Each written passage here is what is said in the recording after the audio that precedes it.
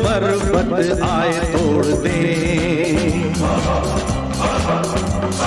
जंगलों को जीते दरियाओं का वो रुख मोड़ दे। मंजिलों की राह में जो पर्वत आए तोड़ दे। जंगलों को जीते दरियाओं का वो रुख मोड़ दे।